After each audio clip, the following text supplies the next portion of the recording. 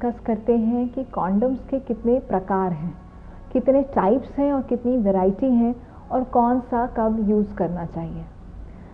पहली चीज़ तो ये कि कॉन्डम वैसा ही है जैसे सैनिटरी पैड्स या मेंस्ट्रुअल कप इसको मांगने में कोई हिचक नहीं होनी चाहिए, पर इसके बारे में सारी जानकारी आपको ज़रूर होनी चाहिए, क्योंकि ये आपको प्रोटेक्ट करता है, ना सिर्फ़ प्रेगनेंसी से बट बहुत सारे सेक्सुअली ट्रांसमिटेड इन्फेक्शन से भी। तो कॉन्डम की उपयोगिता बहुत ज़्यादा है, चाहे आप किसी भी एज ग्रुप में हैं। अगर आपको अपने आप को इन्फेक्शन से बचाना है तो कॉन्डम ही एक तरीका है जिससे आप अपने आप को कई जानलेवा इन्फेक्शन जैसे एचआईवी से भी बचा सकते हैं। तो कॉन्डम से पहली चीज़ मांगने से एकदम ना झचकें और जानें कि इसको ठीक से कैसे इस्तेमाल किया जाता है और तीसरा, कितने टाइप के कॉन्डम मार्केट में अवेलेबल हैं, जिससे आप अपने रिक्वायरमेंट के हिसाब से केमिस्ट से आसानी से इसको मांग सकें। तो पहली वैरायटी है लेटेक्स कॉन्डम्स लेटेक्स कॉन्डम्स मतलब जो नॉर्मल रेगुलर कॉन्डम्स हैं। अगर आप कॉन्डम मांगने जाएँगे तो आपको यूजुअली लेटेक्स कॉन्डम्स ही दिए जाते हैं। लेटेक्स कॉन्डम्स बहुत इजीली अवेलेबल हैं, काफ़ी चीप हैं। इनके एक दो साइड इफ़ेक्ट्स हैं। किसी किसी को लेटेक्स से एलर्जी होती है तो उनको ये कॉन्डम सूट नहीं करते हैं।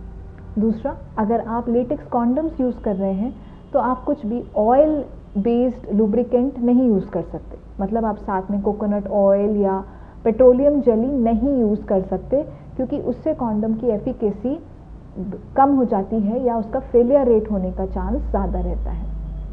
अगले कॉन्डम्स आते हैं नॉन लेटेक्स कॉन्डम्स जो कि लेटेक्स के नहीं बन के दूसरे मटेरियल जैसे पॉलीयूरिथेन से बनते हैं, ये थोड़े से महँगे आते हैं, पर ये उन लोगों के लिए ज़्यादा बेटर हैं जिनको लेटेक्स से एलर्जी है, पर कॉन्डम तो यूज़ करना ही है। तो ये दूसरे टाइप के कॉन्डम आते हैं। तीसरे कॉन्डम्स होते हैं, बहुत ही कॉमनली आपने नाम सुना होगा टेक्सचर्ड कॉन्डम्स जिसे कहते हैं डॉटेड या रिब्ड कॉन्डम्स जिसे हम कहते हैं। इसमें बेसिकली कॉन्डम के ऊपर कुछ डॉट डॉट से या कुछ टेक्सचर सा बना होता है। इससे क्या होता है कि आपके जो आपकी फीमेल पार्टनर है, उसको ज़्यादा फ्रिक्शन महसूस होता है तो ज़्यादा प्लेजरेबल रहता है उनके लिए। तो ये कॉन्डम्स उन आपकी फीमेल पार्टनर को एक्स्ट्रा प्लेजर देने के लिए यूज़ किए जाते हैं। बहुत सारे लोग पूछते हैं कि मैडम रिब्ड और डॉटेड में कौन सा अच्छा है? तो ये दोनों ही एक ही काम करते हैं। बेसिकली टेक्सचर बढ़ाते हैं फ्रिक्शन बढ़ाते हैं आप अपनी पर्सनल प्रेफरेंस के हिसाब से दोनों में से कोई भी यूज़ कर सकते हैं। अगले आते हैं लुब्रिकेटेड कॉन्डम्स जिसमें लुब्रिकेशन साथ में लगा होता है। उसका मतलब है आपको अलग से एक लुब्रिकेंट जेली की ज़रूरत नहीं है। वो अपने आप में इतना लुब्रिकेटेड रहता है कि आपको ऊपर से कोई भी जेली यूज़ करने की ज़रूरत नहीं है। अगले हैं फ्लेवर्ड कॉन्डम्स फ्लेवर्ड कॉन्डम्स इसलिए बनाए गए क्योंकि रबर की एक स्मेल सी आती है।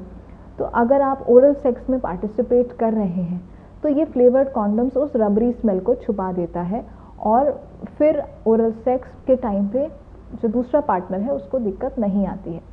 तो आप कहोगे ओरल सेक्स के भी टाइम पे कॉन्डम यूज़ करना है? तो हाँ ओरल सेक्स से भी बहुत सारे सेक्सुअली ट्रांसमिटेड इन्फेक्शंस ट्रांसमिट हो सकते हैं तो उस टाइम पे भी कॉन्डम को ज़रूर यूज़ करना है। अगले कॉन्डम्स हैं अल्ट्रा थिन कॉन्डम्स ये कॉन्डम्स का थिकनेस काफ़ी कम होता है। बहुत सारे लोगों को कंप्लेन रहता है कि कॉन्डम की वजह से उनका सेक्सुअल प्लेजर काफ़ी कम हो गया है या सेटिस्फैक्शन काफ़ी कम हो गया है।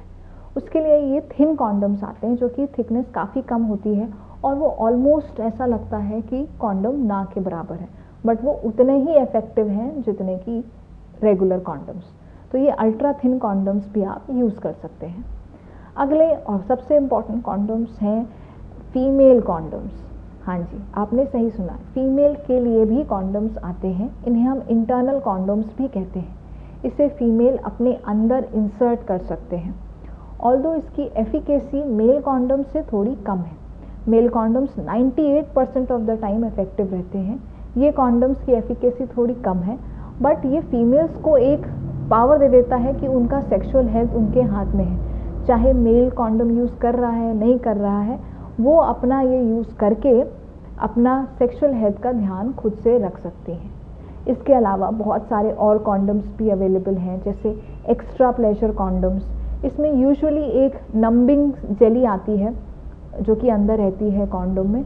वो क्या करती है पीनेस को थोड़ा सा नंब कर देती है तो सेंसेशन थोड़े से कम फील होते हैं मेल काउंटर पार्ट्स को तो उनका टाइम बढ़ जाता है। ये स्पेशली उन लोगों के लिए अच्छा है जिनको प्री मेच्योर एजैकुलेशन का प्रॉब्लम है। इसके अलावा नए प्रकार के कॉन्डोम्स आते हैं, जैसे ग्लो इन द डार्क जो कि रात में जलते भी हैं। तो इस टाइप के कुछ कॉन्डम्स बहुत इजीली इंडियन मार्केट्स में अवेलेबल हैं। आप अपनी सेक्सुअल प्रेफरेंस के हिसाब से या सेटिस्फैक्शन के हिसाब से आप इन कॉन्डम्स को केमिस्ट से आसानी से मांग सकते हैं, बिना झिझके, और अपनी सेक्सुअल हेल्थ को बेटर कर सकते हैं हेल्दी कर सकते हैं। और इन्जॉय कर सकते हैं अपनी सेक्स लाइफ को। अगर आपको इससे रिलेटेड कोई भी क्वेश्चन हो तो आप कमेंट बॉक्स में ज़रूर डालिए। थैंक यू और धन्यवाद।